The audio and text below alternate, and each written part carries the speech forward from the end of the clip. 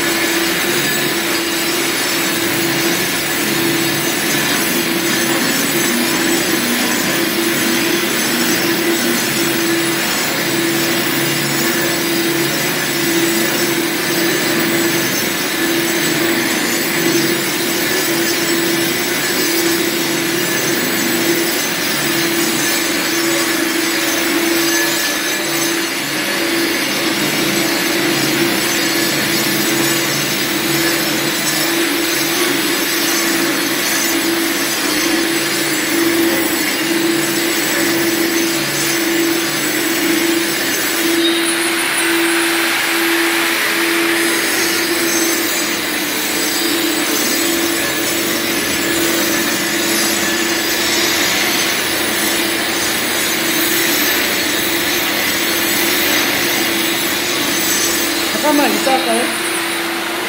잠깐만요. 네, 이런 식으로 밀었는데 이게 왜 이렇게 미냐면 이제 에폭시 투명으로 하려고 그랬는데 바닥이 워낙 더럽죠 지금 이거는 한번 이제 이 바닥을 얇게 갈아낸 거예요 네, 이제 이 상태에다가 그냥 에폭시 투명만 이제 도색해도 이 세멘 느낌을 그대로 살리고 되게 좀 자연스럽게 되는데 이 상태에서는 뭘 해도 이렇게 안 나와요. 예. 이 상태에서 하려면 깨끗이 청소해서 뭐 콤플로어나 그런 작업을 해야 되는데 이렇게 갈아 놓으면 이제 투명 에폭시만으로도 시공이 가능해서 이제 이렇게들 갈, 갈아서 하기도 해요. 예. 이 crack은 없애지 않고 그냥 해도 또 나름대로 괜찮아요. 바닥 crack 군데군데 가 있는 거 너무 큰 거는 좀 살짝 살짝 떼우고 아마 그렇게 아마 작업을 이쪽에서 할 것 같아요. 예, 여기까지 영상을 찍도록 하겠습니다. 이렇게 이 부분도 다 갈아내야 돼요. 이 부분도 그렇고 이 부분도 그렇고 여기까지 예.